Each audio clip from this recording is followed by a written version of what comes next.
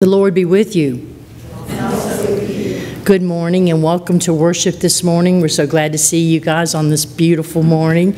Uh, we want to be sure and welcome our, visit, welcome our visitors on YouTube later in the morning. And we certainly hope that at some point you will be able to join us in person and we might be able to visit a little bit. Um, Please remember to sign the friendship registers that are in your pews and put these into the uh, collection plates when we take to our tithes and offerings. Um, If you are visiting with us for the first time, we are so glad to have you, and we ask that you share any information you are comfortable with on that registry so that we may contact you later with a note telling you how glad we were that to have you visit with us today. Please note all the announcements in the bulletin. Uh, Kathy Hollinsworth has asked that I remind everyone the, uh, anything, any information you want included in the June newsletter needs to be gotten to her as soon as possible, preferably early in the week. Um, Two other announcements I want to highlight are the, uh, some special events we have going on this summer. Our Creative Arts Camp, which will be on July the 8th through the 12th, and our Vacation Bible School, which is July 29th through the 31st. I'm sure all help would be welcomed for either one of those events, and they sound like a lot of fun. I know Bible School is, and I'm sure the Arts Camp is going to be equally as fun. If you have any questions or you would like to know more about this or volunteer to help, you can contact Pam Goff for the Creative Arts Camp or Dinah Arnott for the Vacation Bible School. Are there any other announcements this morning? Before we get to our list of, our prayer list at the back, are there any other prayer requests that we have this morning? Oh, sorry. Would you please join me to the inside back page so that we may remember our prayer list by reading these names aloud?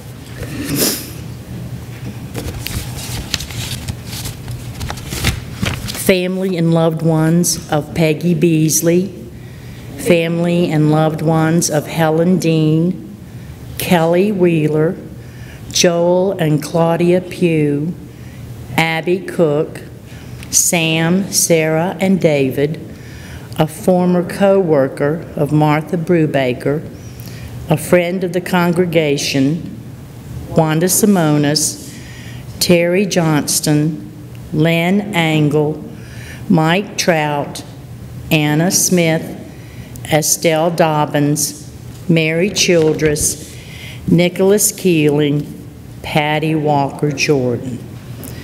Uh, we, in your bulletin is listed that we'll be doing memorial prayer this morning, but we have postponed that until next Sunday, so we'll be doing that prayer next Sunday morning. Okay, now, let us stand and greet each other with the peace of Christ.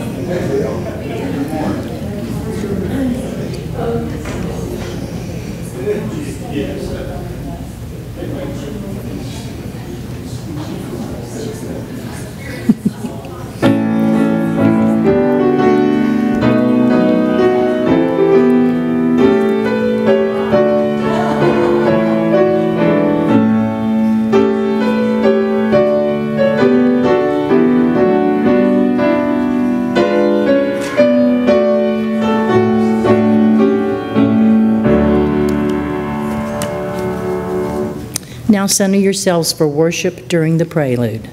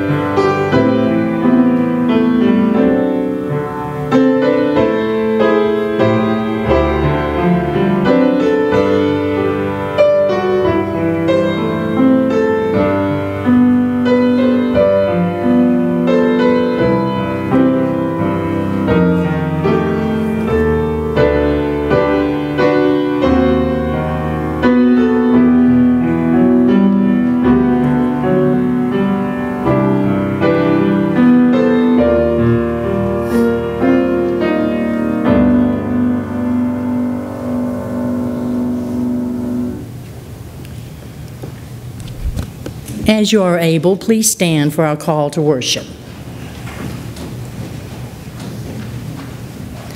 God of wind and fire, when you send your spirit, we are created anew. God of mighty oceans and still waters, when we receive your baptism, we are born anew. God of bread and wine, when we eat at your table, we are nourished anew. So pour out your Spirit. Let sacred waters flow. Fill us with holy food. May our hearts and our hands be open wide to receive your gifts of life. Amen.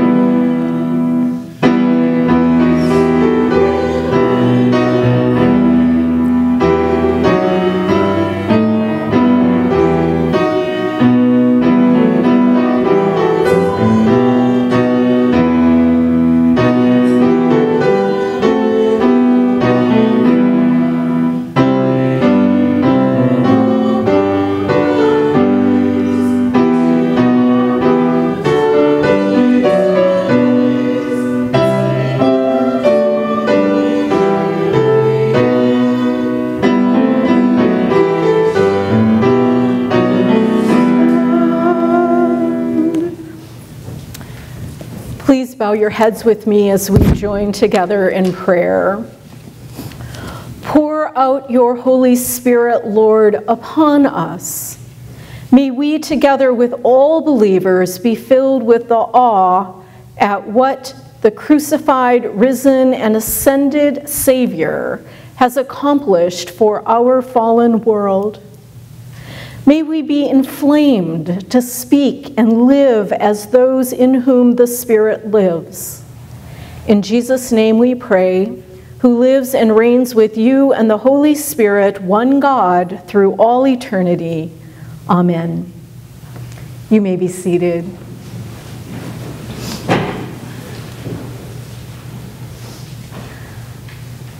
Our time of honesty before God recognizes this Pentecost Sunday, the way the Spirit moves in each of us.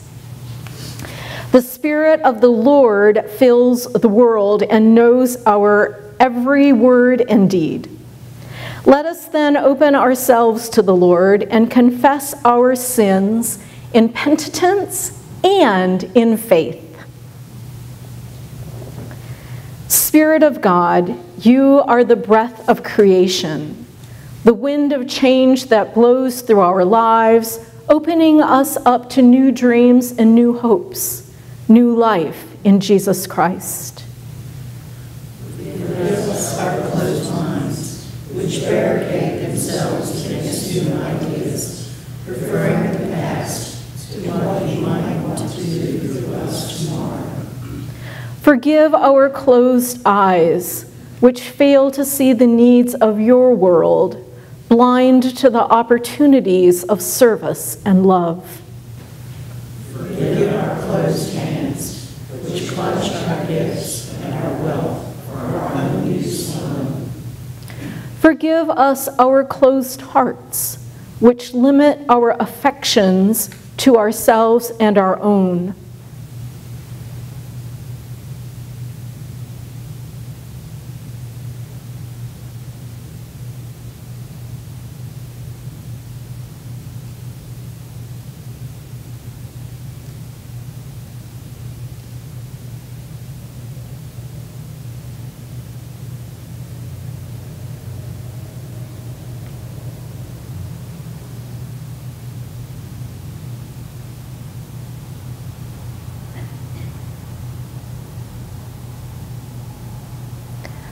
Spirit of new life.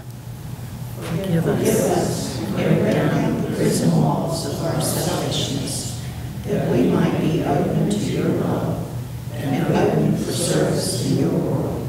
Through Jesus Christ our Lord. Amen. Friends, in Christ, by the power of the Spirit, we are united with Christ and given a new spirit. Live in the joy and peace of that assurance.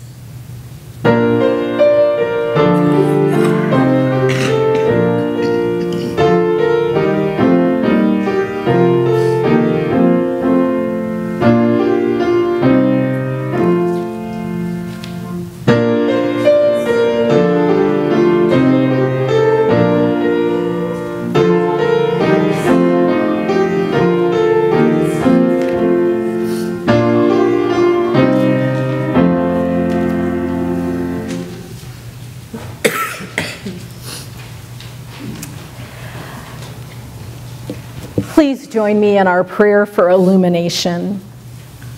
Shall we pray? Holy God, may the Spirit burn in our minds, in our wills, and in our feelings as we read and proclaim the Word of God. Speak to us, O burning power of God, that we may sense the light and heat of your presence. Amen. Our scripture reading is such a familiar and beloved one, and probably has been read nearly every Pentecost that you have been here. Um, oh, I forgot. Thank you. I did that and I forgot it. Thank you. Thank you, Boots.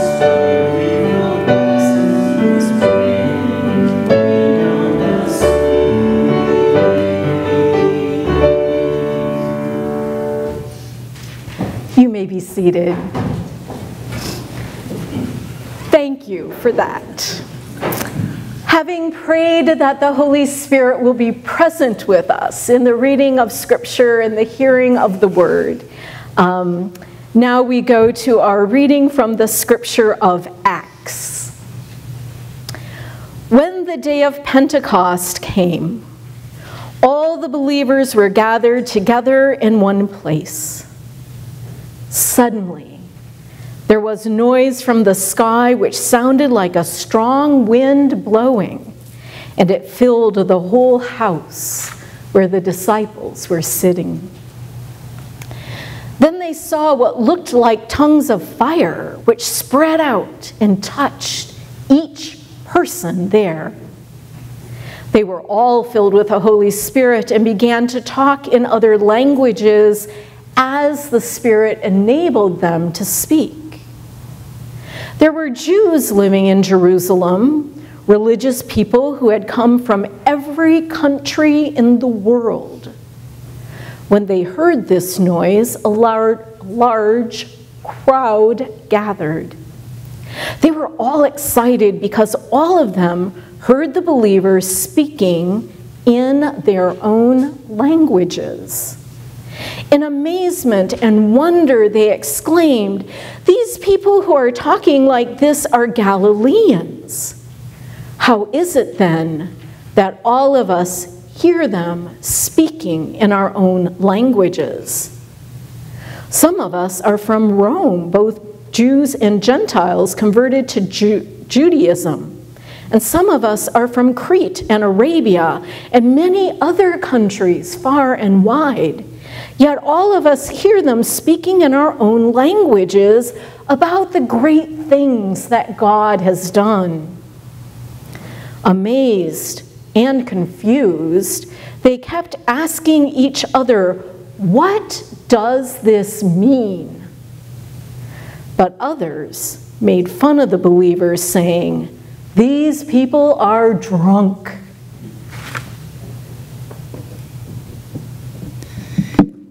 Then Peter stood up with the other 11 apostles and in a loud voice began to speak to the crowd.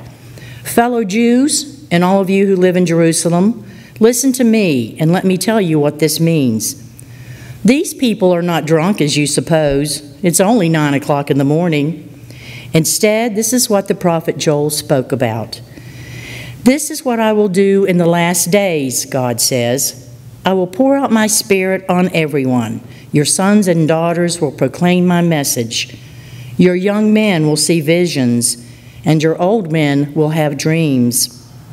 Yes, even on my servants, both men and women, I will pour out my spirit in those days, and they will proclaim my message.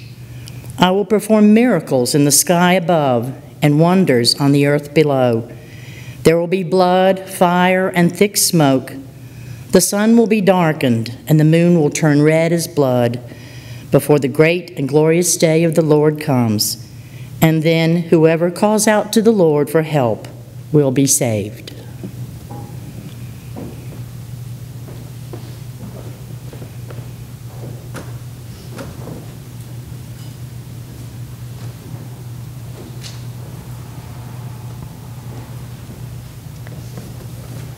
This summer, in July, I will be attending a week long training course that has the title African American Autobiographies, Religious Autobiographies.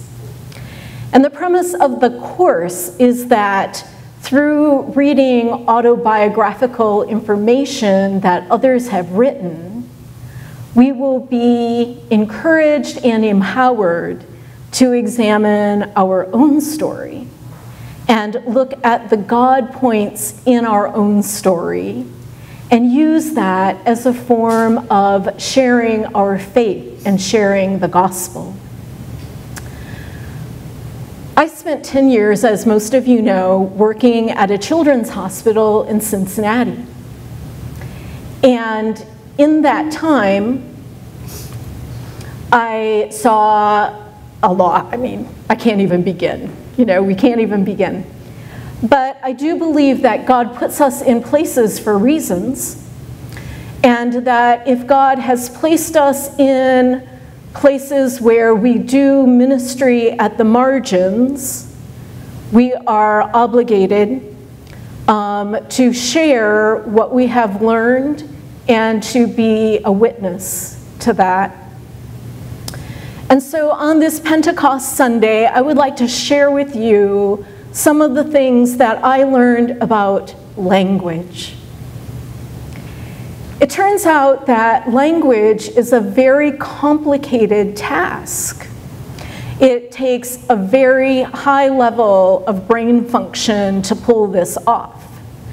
Because if you think about it, there are letters, and letters have sounds, and we put those sounds together in words, and then they're like, like billions and billions of combinations of sound and words that come from them. And then we attach meaning to that.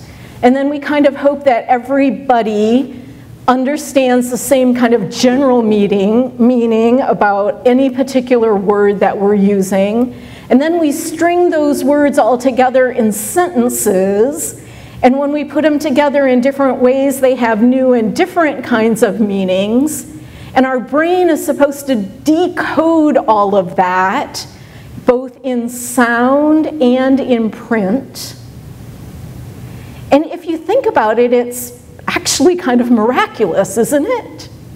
That we can have thoughts and we can have experiences, and that we can find a way that God has given us a way to share that with other people. Now, language doesn't only require decoding when we hear what other people are saying or writing to us, but it also requires encoding when we want to share our thoughts and feelings with other people. And so we need to, if we're going to be able to function in life at all, we need to be able to take our experiences and code them in this thing called language and then share that with other people. And so now I want you to think about all the layers that there are. There's encoding and decoding verbally, there's encoding and decoding in printed form, and then all of those permutations have places where that can go wrong. So, much to my shock, um, and I, I, learned this because we had um, speech and language therapists that did assessments for every single child that came into the area where I worked. And what I learned was you can be really great at any one of those four quadrants, but you could also have very um, extreme deficits in any one of those four quadrants. And so it could actually happen where um, someone could be like amazing at spoken language and not at all be able to manage it on the written page. And I remember saying one time to the speech therapist, why can't they just like say it out loud and write down what they said? And she just laughed and she said, it doesn't work that way. And I focus on language today because in our text, it says that not only were people doing this process of language encoding, but they were doing it in other languages for other people to hear.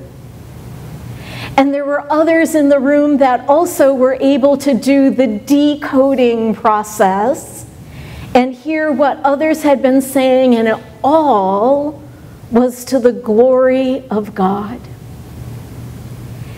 And so, in the way that we can use, there are lots of other ways we encode our experiences, don't get me wrong.